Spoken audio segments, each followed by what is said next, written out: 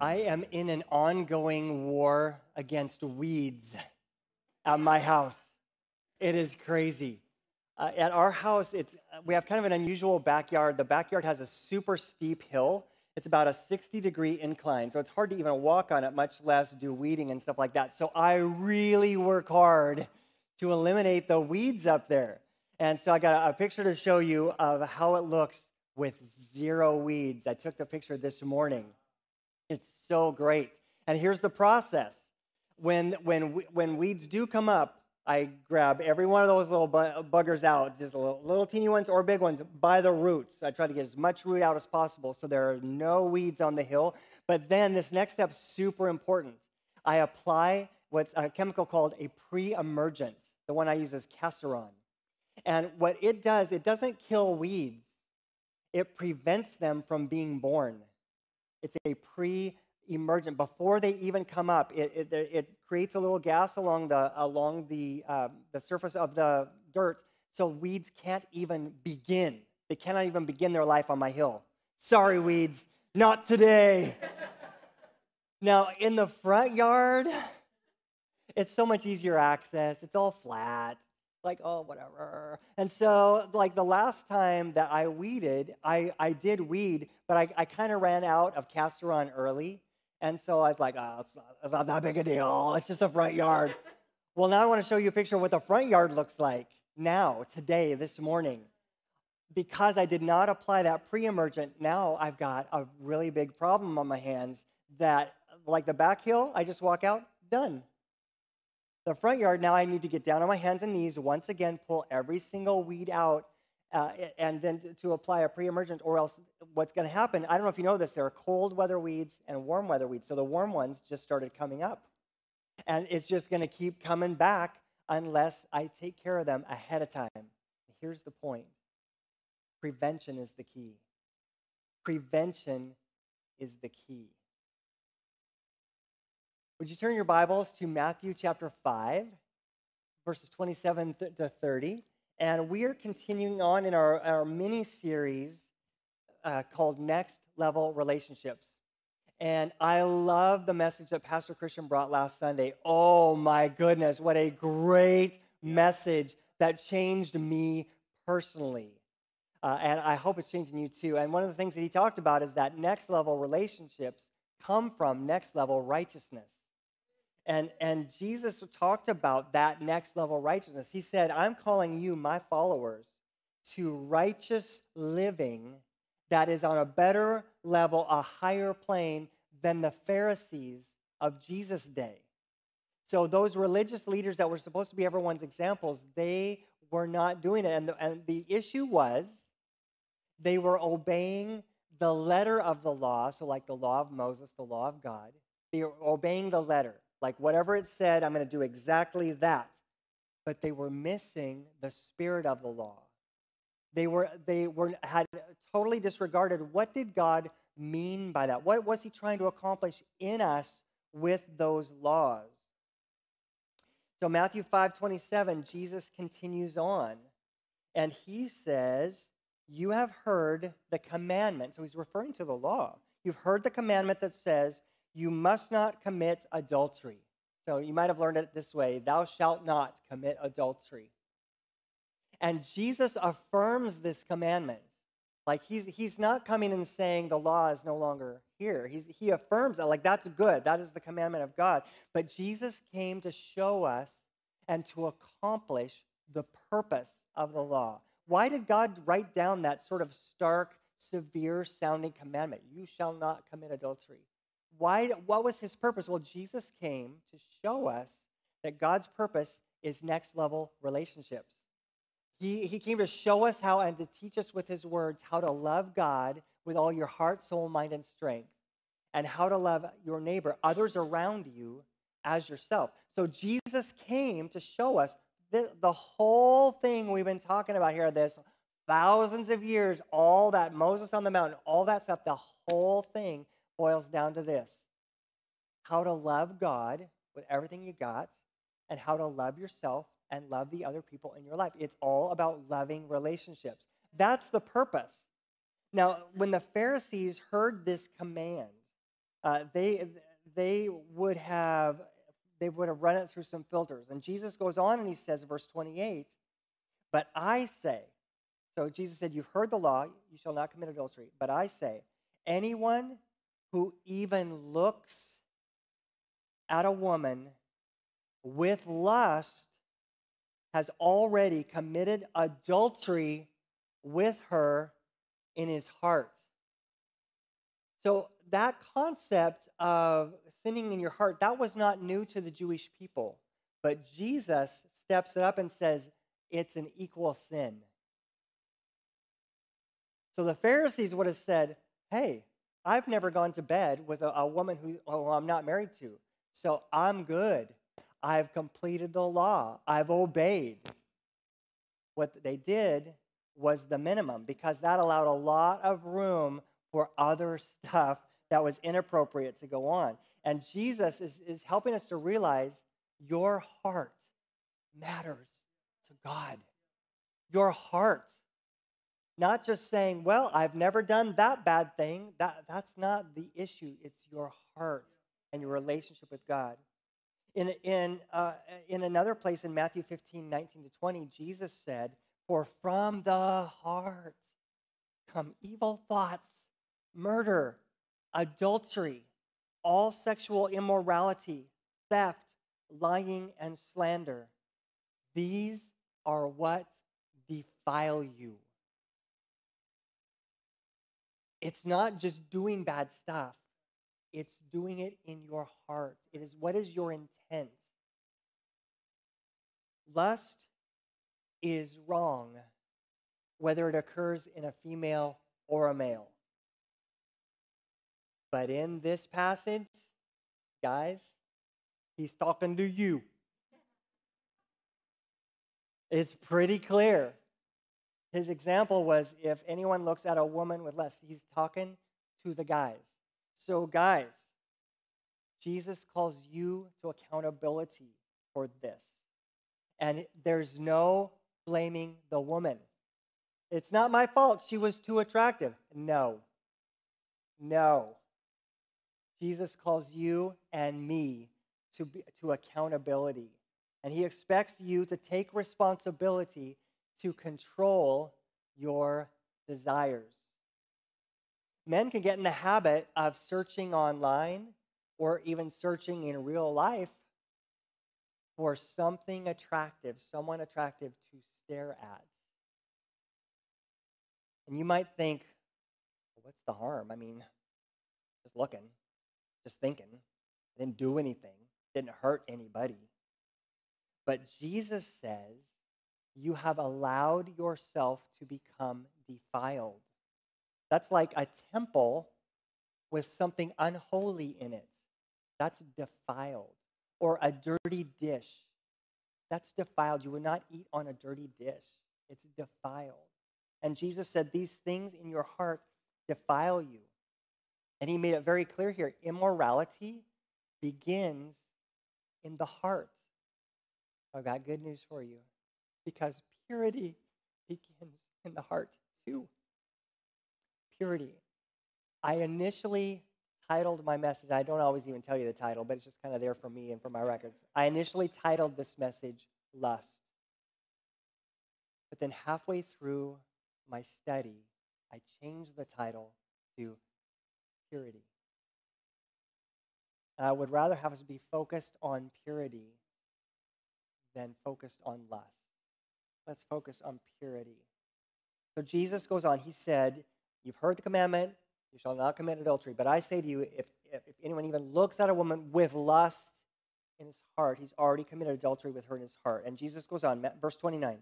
So if your eye, even your good eye, your best one, like you know, your favorite one, your strongest one, causes you to lust, if even your eye causes you to lust, gouge it out and throw it away. It's better for you to lose one part of your body than for your whole body to be thrown into hell.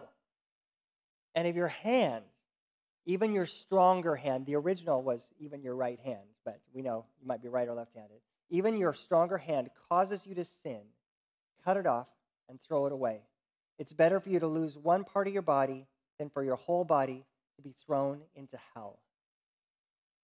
So Jesus holds you and me responsible for protecting your eyes from things that cause you to lust.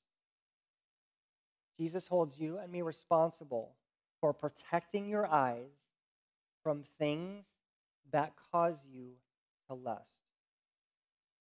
Guess what the bottom line is? Prevention is key. Prevention is key. Jesus exaggerates the cure. He did this in the passage that we, we talked about last week as well. He exaggerates the cure to drive home the seriousness of the sin. So, like last week, uh, uh, Pastor Christian talked about how uh, if, if you're at worship, drop everything and run and be reconciled. Jesus is, is he's trying to say, this is really serious. and in, in this week, he says, gouge out your eye, cut off your hand. Listen, you guys, hear me. Don't take that literally. There have been well meaning people who have, but here's the problem Jesus knows even if you cut off your right hand, that did not change anything here. What he's saying is ruthlessly prevent. That's what he's saying. So do not literally mutilate your body. Do not mutilate your body. So do avoid veering off the path of righteousness and following the path that leads to destruction. Do avoid that. Do avoid veering off the path. Jesus says, eliminate what tempts you to gaze on what prompts you to lust. Eliminate what tempts you to gaze on what prompts you to lust. Why is this looking thing so important? Well, in James 1:14, Jesus' brother, his little bro, wrote, Temptation comes from our own desires, which entice us and drag us away. These desires give birth to sinful actions. And when sin is allowed to grow, it gives birth to death. And what you see here is such a clear, uh, poetic, poetically written uh, visually written progression. There's a progression. And Jesus is trying to get at that progression because it starts with what's on the inside of us. It doesn't start with going to bed with someone you're not married to. That's not where it starts. It starts on the inside of you, it starts on the inside of us. Temptation comes from our own desires, which entice us. And those desires give birth to sinful actions. So then you when you act on those things you look at that thing you get close to that person. When when you act on that and you do sinful actions those germinate death. Just like weeds are germinated. Those sinful actions lead to you dying on the inside. The very first people god created adam and eve did not understand this I think the devil did understand it and he used it to, to distract them. God said, if you, I, I'm drawing a boundary here, do not eat the fruit of this tree because if you do, you will die. That's what God said. The devil said, You won't die. That doesn't give birth to death. But God knew that desire, that, that lust, that leads to a simple action, disobeying, eating the fruit God said not to, he knew that that would lead birth to, it would give birth to death. Prior to that, you, humans would have lived forever in the presence of the Lord. You would never have died. No death. There was no death then. But that sinful action gave birth to death. Now, the devil said, I was right, you didn't die something die in here. Their purity died. Their relationship with God died. Shame came in. And then eventually their body caught up to that and died. Adam and Eve still not here today. They did die. God did tell the truth. Sinful actions give birth to death. God doesn't want you to die or be dead on the inside. He wants you alive, alive to Christ, alive in Him. And He wants you to have eternal life. That's what God wants. So Jesus is not here saying, I'm here to, to be a killjoy. I'm here to take away all your fun. Because He knows where that fun leads. And He doesn't want you to die inside. He doesn't even want you to die outside, part of our broken world. We have eternal life that starts now. Praise the Lord. We're going to continue, even after we, our body dies, we're going to continue eternal life with Jesus forever. Praise his name. That's what God wants for you. He doesn't want you to die. I'm going to say something here. Let just just think about this for a minute. Sexual arousal is plain and simply the anticipation of sexual pleasure.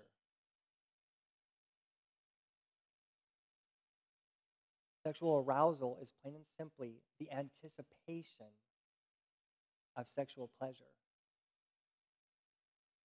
And guys, we tend to compartmentalize and say, no, this is not connected to that. It is. It is connected to that. Now, I, I want to just bring something positive here. Sex is God's idea for us. He doesn't have sex, He created it as a gift for us, for humanity. And biblically, if you look at what the Bible has to say on this topic, there's, there's two really great reasons for sex procreation and pleasure. God came up with a really good gift it keeps the human, uh, humanity reproducing and, and going on, and it, it gives pleasure. It's a great gift. But just like with all of God's gifts, they can be taken to excess, and excess leads to ruin. Think of all of the other gifts money, food, just, just all the different things, relationships, all these gifts, they can be misused or abused or taken to excess. Only within God's boundaries is their health. That's where the health is. It's a good gift. And it's healthy and fulfilling to enjoy the beauty of your spouse. That's where it thrives. That's where this whole thing thrives. And that's what God gave you, your spouse. Uh, that's one of the reasons why God gave you your spouse. It's a gift. But when you stare at others and become aroused by them, then it becomes unhealthy for you. That's the, that's the line. So God gives us this good gift. Satan created porn as a counterfeit to explore your desire for love, to exploit your desire for love and trip you up. So God gives us this good gift. Satan says, I'm going to counterfeit that gift, counterfeit that money with something that's actually going to hurt you, something that was meant for good. I'm going to turn it twist it, pervert it, and make it so it's going to hurt you. So porn feels good for a moment, or else no one would do it. And millions of people are, are participating in porn. So it does feel good. No one is denying that for a moment. But porn leads to anger. Think about that for a minute. Anger at your spouse if you're married, anger at yourself. Porn leads to anger. It, it leads to emptiness because you're searching for love, but you will never find it there. It is a one way street. No love's coming back at you. Love satisfies, lust depletes, it empties you. Love fills you. It's a gift from God. Lust depletes you. It leaves you feeling empty.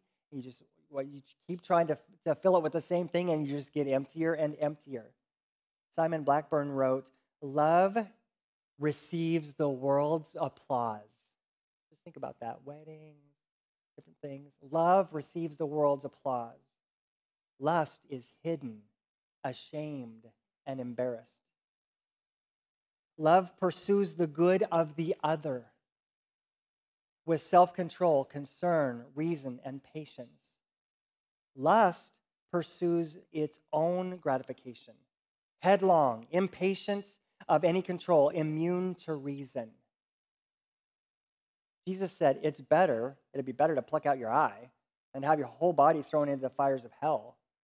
Well, listen, it's not so much that one lustful look sends you straight to hell. Bam. Well, I guess that's it. One lustful look, everyone's in hell, because we would all be in, in hell right now. Let the one with, with no sin among you throw the first stone. Like we would all be gone to hell right now. So that's not really the point that Jesus is saying. If you live a life of intentional sin, you're not following Jesus. In 1 John, one of Jesus' disciples wrote, 1 John 3 9, those who have been born into God's family do not make a practice of sinning because God's life is in them. So they can't keep on sinning because they're children of God.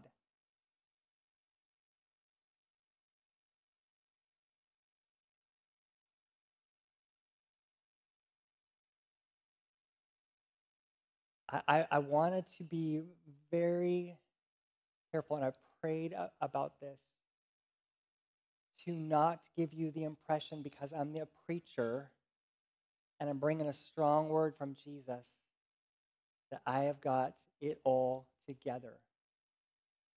So I, I want you to know that I am a fellow struggler. And when I read that verse, that people who have been born into God's family do not make a practice of sinning, I just go, oh my goodness, how many times have I asked for forgiveness? Have I crossed that line? But I love the that phrase, the way it's translated in the NLT, make it a practice. My practice is not to go sin. I, I fight against it. I struggle against it. I pray. I, Um, we talk about some other things a little bit later that in this message that we do. That is not my practice. And that really is a very different stance than the world that says, This is my practice. This is what I do. This is what I enjoy. Is, it's Friday night. I'm, I'm gone. That is, that is not our practice. And I want you to know if you're following Jesus to the best of your ability and you've been stumbling, you are not out. You're just struggling. And we're going to talk about some very practical ways to prevent that in just a few moments. I, I want you to know from Jesus' words when he said that it's better to, to not get your whole body cast into hell, there is a judgment coming. In 2 Corinthians 5:10, it says, For we must all stand before Christ to be judged. All all of us, myself included, must stand before Christ to be judged. There is coming a judgment day. We will each receive whatever we deserve for the good or evil we have done in this earthly body. Would you just picture that day right now? Would you picture you standing before Jesus? You, Christian, follower of Jesus you, seeker, maybe you haven't even given your life to Jesus yet, would you picture yourself standing before Jesus on Judgment Day?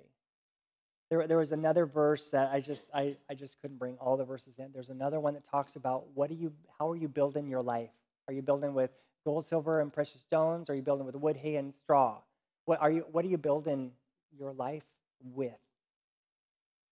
And in that verse, when it says the fire is going to come on Judgment Day and all the stuff that wasn't for God is going to get burned up in your life, it, it says you're going to be saved, but it's not going to be a good day for you. Oh, I think that we need to think about that a little bit. There's coming a day when you're going to stand before Jesus, when I'm going to stand before Jesus.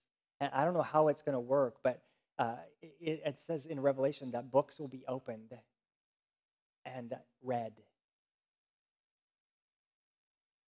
So is the whole world going to hear everything that you did ever in your life in an instant? I don't know. I don't know how it's going to look.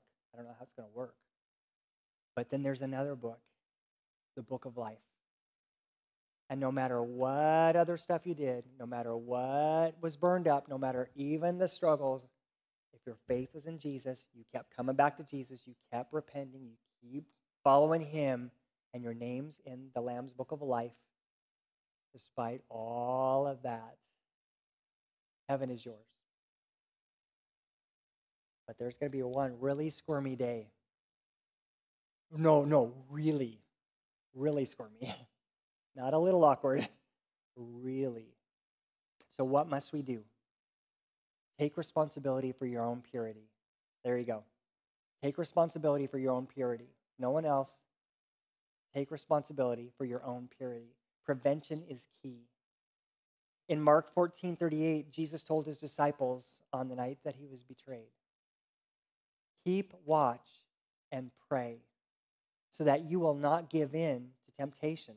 For the spirit is willing, but the body is weak. There's so much. That could be a sermon series on just that one verse on theology of the body and the spirit and, and praying and watching. Keep watch and pray so that you will not give in to temptation. Now, hear me on this. We Christians are very good at praying, but we're not very good at watching. And I'm saying we. So we pray, Lord, take away the lust, take away the temptation, take away the sin. Help me not even want to do that ever again. We, that's what we pray. And then we go, we gaze on things that cause our, ourselves to lust, and then we lust, and maybe even worse. And then we come back and we pray. We prayed, but we didn't watch. And which one comes first? Watch. So you might be really super frustrated because you have prayed for years. I have prayed for years that God would take away this lust, and God didn't do it because you didn't watch. You are responsible for protecting your eyes from seeing the stuff that prompts you to lust. You put down that device. You. It doesn't matter if you prayed.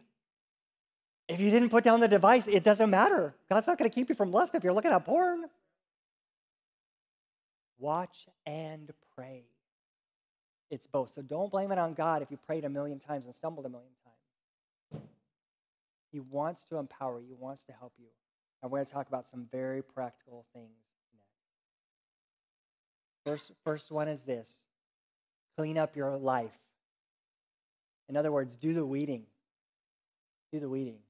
If I hadn't weeded, it wouldn't have even done any good to put on Casoron because the weeds are just sprouting and dropping seeds. All it's just it wouldn't have it wouldn't have done any good. So first, clean up your life.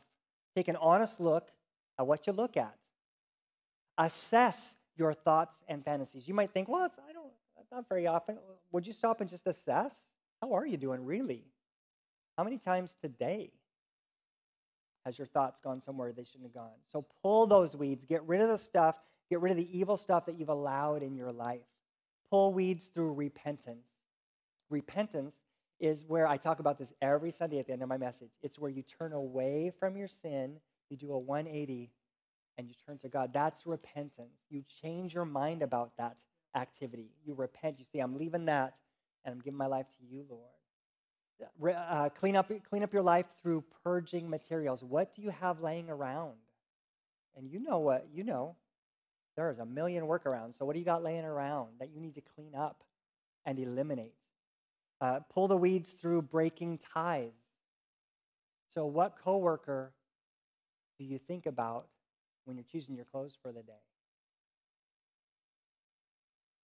What schoolmate do you think about when you think about what am I going to wear? What ties do you have with a certain person, even whether or not they know? And what ties do you have with a person because there's a tie with that person? Something physical has happened some, with someone that you're not married to. That's what we're talking about, someone you're not married to. Uh, pull the weeds through counseling. If you need help, man, get a mentor, get a counselor, get a Christian counselor. Because uh, the goal of counseling a lot of times is to make you feel comfortable with your choices. So that's why I say get a Christian one. Tries to help you be comfortable with God's choices. that's a better that's a better way to go. Uh, and then deliverance. Deliverance.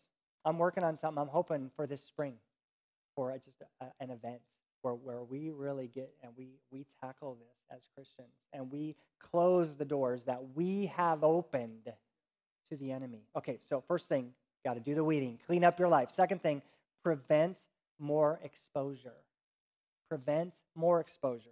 That's the Casoron. Preventative, pre emergent. Uh, in the front yard, I weeded, but I didn't prioritize prevention. And so the weeds are all back. And now I got to work way harder again to pull all those weeds. And it's just like that in our lives. You've got to take preventative action. It's not enough just to pray and repent. You need to prevent seeing more or being in those situations with actual people where you know you're going to be prompted to less. So here's some very practical suggestions. Get an accountability partner. Get an accountability partner. Someone that you can be honest with and someone that is a Christian that is going to hold you accountable and say, We agree, that's not right, right? That's sin. That's not following Jesus, right? Let's pray. Next week, what are you going to do that's different? That's what an accountability partner is. Second thing, in the same area, take preventive action. Get an accountability app. I have one on all my devices. It's the, the app Accountable to You. Accountable to You. And there are different apps out there. I like this one because you can have real-time alerts. So if you set if you choose to set up an accountability partner, you can choose to have them get a text and an email at the moment you look at something or even search. Talk about jarring when you secretly go to search and you get a phone call. What are you doing right now?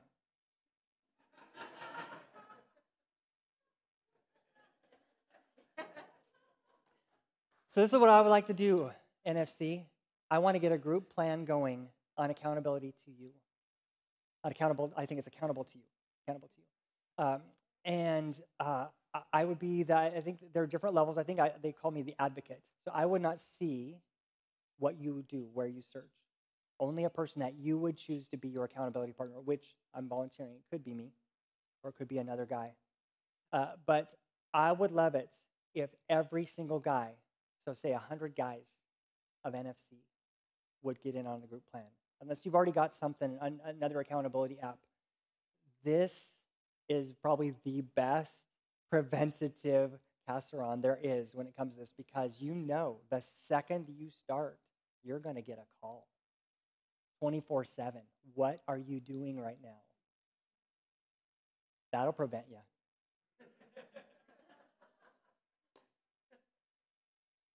so, many of you have my cell number. Text me right now. Text me anytime today and say, I want in on that plan. And so once I get it going, i am sure I'll send you a link or however, however we do that. Um, if you're online, this is really cool. You can be part. So text me if you got my if you got my cell number. Uh, for everybody, you can go on our website. Here's the spoiler alert. Go to the Meet the Team page, you know, the Meet the Staff page. Right below my picture is a link. That's my name. Click on it, and you're emailing me right then. So literally everybody has access to me. I am, I am accessible. So just send me an email and say, I want in on that group plan, and let's do it together. And, and let's prevent. So now I, have got something else I want to do, and uh, this is a little, a little different. But I'm thinking about prevention, and I'm thinking about your kids. Man, let's not wait till they're full of weeds and then start weeding, okay? Let's do a preventative. Let's prevent. And so there's something that, that uh, I did, uh, I'll say we, but it's, it's the same gender parent. So I did with both of my sons, Stephen and Jared, called Passport to Purity. It's been, it's, a, it's a, an overnight experience that's all planned out for you. And it just tells you how to take your child uh, uh and talk to them about biblical purity before it's an issue. It's a preventative oh my goodness, we still even every so often we'll, we'll mention something from Passport to Purity. You remember the balloon thing? Uh huh, yeah.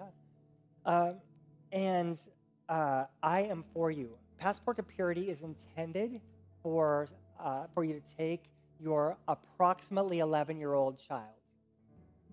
So if you have a child who is uh, maybe nearing that age, just a little younger, or is a little older, I want to give uh, two families today, Passport to Purity. Uh, if, if you're interested, could I just see your hand? Yeah, saw you guys. Saw you. All right. So, and th- this means that you'd have someone in that category. Okay. So I saw. I didn't know how many, and I didn't want to waste money. I'm going to make sure every one of you guys get one. Okay? So the, the first people I saw were you guys and you guys. Let me give those to you. You're welcome. And then after the service, or whenever, come talk to me, uh, the, the other ones. And I saw at least two more. Maybe there's more. It's that important that we're going to take our collective resources and make sure you are resourced for this. Uh, when you look at it, you might get intimidated because it's involved. But I want you to know uh, that they, they, they know that. And so they have actually prepared, you can buy the kit that has all the, the crafts, the materials already done for you. Object lessons, yes, more, that's, that's the word I'm looking for. Object lessons already gathered for you. So that's, that's there. It, or you can just gather them like, like we did. We just went to the dollar store and did them ourselves. Um, so we're going to help our kids to not even have to pull the weeds. We're going to help them to prevent. So much better. So much better. Okay, so clean up your life, do the weeding. Number two, prevent more exposure, put on that pre emergent preventative. And number three, fill yourself with godly input. Fill yourself with godly input. That's like putting fertilizer on the flowers or on the grass. Fill your life, fill yourself with godly input. In the yard, you feed the plants or the grass that you want to grow. So in your life, feed the thoughts and actions that you want to increase in your life. You guys, some of us take church attendance so casually. Eh, if I feel like it, maybe I will, maybe I won't, maybe I'll go late, maybe I'll miss worship, maybe I'll just come in for the message. We treat it so casually when in fact we should treat it like a lifeline. It is a spiritual lifeline. You are putting something good in. You can't just get rid of the bad, you've also got to get good in so that your automatic response is, let's pray. Or I know a worship song that will get me through this moment. Like that's that's what you want. Put fill yourself with the stuff that you want to grow in your life. Don't treat it casually. This is too important for that. The devil's out there working 24/7. What are you doing? To protect yourself. Connect groups. Again, you as as helpful and important as church, like coming to a, a, a worship service, you're hearing the word taught to you. I hope this is very practical for somebody. Uh, that's good, you're putting that in. But connect groups are where you actually look someone in the eye and they see that you're there or you're not. And they say, hey, I, I prayed for you last week. We, uh, uh we, we've got guys, that, people going, going in for surgery. Man, we prayed them through it because of Connect Group. Man, that's what you want to be in an atmosphere and an environment where people are praying for you. And don't get me wrong, Connect Groups, it's not so much like uh, people aren't really confessing stuff they're asking for prayer. And so that's how we, we kind of, that's one of the ways we get to know each other during the Connect group is people are saying, I'm, I'm concerned about this. My, I've had this issue at work, or I've, I've got a surgery, or whatever. So we get that, that's how, it's not like people are sharing their deepest, darkest secrets. But sometimes they do. Sometimes we break up in smaller groups and, and people will share that stuff. That is awesome. A Connect group is a great place to find an accountability partner. That's a great place to find that. Fill yourself with the Bible. We, we've given out devotionals. We have a Bible reading plan on our app. Like, we, we just want to try to make it as easy for you as possible. Bite sized chunks, sometimes less than a chapter a day, seven verses a day recently, we've been doing, with a, and then a devotional. Man, fill yourself with that. Uh, fill yourself with prayer. Pray on your own, not just once a week, on your own. Fill yourself with worship music. I, I, I, said, I think la- a couple weeks ago, I, I, mentioned that I have been watching uh, YouTube videos of worship. And so cool because once you start doing that, it will just keep suggesting them for you. So it just kind of helps. It takes the work out of it. So I've just been trying to immerse myself every morning in a worship time. And I see them raising their hand, and it reminds me, oh, this is not just a song. This is an engagement with God. This morning, I was listening to something brand new uh, from uh, Chandler Moore, and he was, he was doing uh, uh, this a medley of songs, and in between, he was just praying. And I just put down my razor. Just prayed, yes, God, do that for me. Yes, yes. That's, a man, feel yourself like that. That's another part of prevention as well. So would you stand to your feet, everybody? If you're in the room, if you're online, man, stand to your feet too. Let's change your position. Let's get real. Let's get serious. Let's do this. And would you, would you bow your heads with me and let's pray?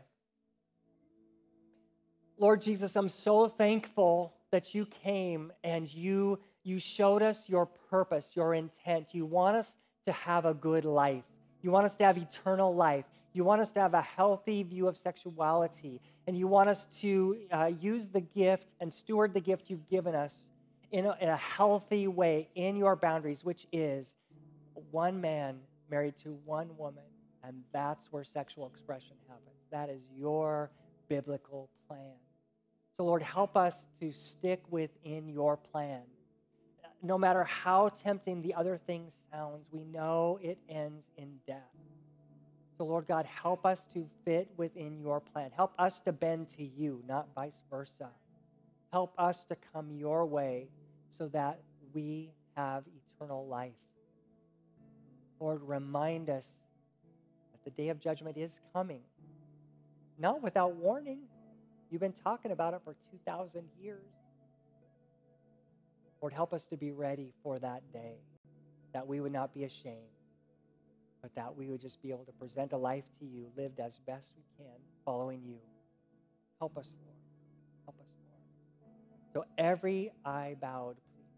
Every head bowed, every eye closed. And I'd like to just slowly look over the room. And if you would like prayer for this very area we're talking about today, would you just look up at me and make eye contact and then you just bow your head again? I've done this in other times, in other services, and I will just go and just make it a habit to pray for you. And some are already starting to do that. So uh, just look up at me now if that's you. Make eye contact. Good. And I'm just going to go slowly over the room, men or women, it doesn't matter.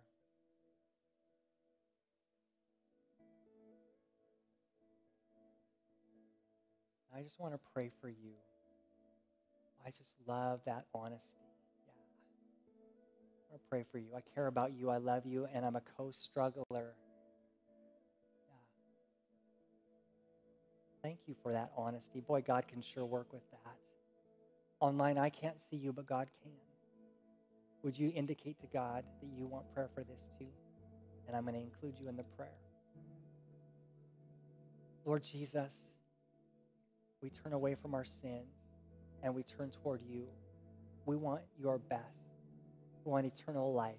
We want actions that lead to life and not death. So, would you just repeat after me? Jesus, I turn away. I repent of lust. And I choose to follow you, to work within your boundaries because I want life. I want your life. Lord Jesus, we do just repent. We turn away from those sins, Lord God. Uh, even, and I'm, I'm talking about people, uh, those of us who are Christians, or we, we say, we realize that's wrong. We don't want it in our lives. We turn away from it, and we purpose, Lord, take the next step. So I just pray, Holy Spirit, would you show each person a next step, especially each person that looked up at me would you help us to take another step? Because most likely, the steps we have taken have fallen a little short. So, Lord God, help us to take another step. Help us to follow you wholeheartedly with everything that we got. Help us to take that step. In Jesus' name. With your head still bowed, one more invitation, and that's to the person who you you're now currently walking in a relationship with Jesus. Do you know that your sin separates you from God? Picture being separated from God for eternity. That's what sin does. So you need a Savior, and Jesus is the Savior of the world. He is the hope of all the world. I want to invite you to, to confess your sins, to put your faith in Jesus Christ, to give your life to Him. Just turn away from your sin, turn your life over to Him, and let Him lead. You want to do that today? You want to become a Christian today? Give your life to Jesus today? Put your faith in Him? If so, would you raise your hand right now? And I'm just looking around just to make sure I, I see everybody. I want to just pray for you like I've been praying for people today. Yeah, I see you. Good. Some of you, I think, just making sure you're really saved. And that's good. Nothing wrong with that. Nothing wrong with that. So, would you all online or in the room just repeat after me Jesus, I invite you, I welcome you into my life. Please forgive me of my sin and make me new. I choose to follow you starting now, to be your apprentice forever. In Jesus' name, amen. Amen. Amen. And if you did that today, we just applaud you. Whether you're in the room and you raised your hand, you made that decision, or if you're online, would you just right now, just pull out your phone so you don't forget right now, text restart to the phone number 97,000. That will just let us know you made that decision and we can pray for you specifically about that. God bless you. Thank you so much, Pastor Garen. We love you, Pastor Garen. Thank you so much. You know, it's I think it's easy for a preacher to get up here and preach this message and keep it theoretical, keep it kind of abstract because we don't really want to talk about it. But Pastor Garen brought a word that was so practical and gave us actual action steps to take, and you should take them. Absolutely take them. Oh my, we love you, Pastor. I know he's gone, but we love him so much. Well, it was so good to see you today. If you are new, would you just text the word greet to 97,000 just so we can connect with you? We just the fir- it's just the first saying hi, saying hi to you and just so we can connect with you. Also, if you're watching us online, would you subscribe to our channel? I don't know exactly how it works, but somehow the fa- the the YouTube algorithm because people are subscribing can share our videos with other people online so we can show how we're sharing Jesus, growing together with a wider audience. And that's just a great way you can be a part too. Um, also, I want to remind you connect groups are today after service and every week. So um, there's something for everyone right after service. Go get connected. It was so great seeing you this week. See you later.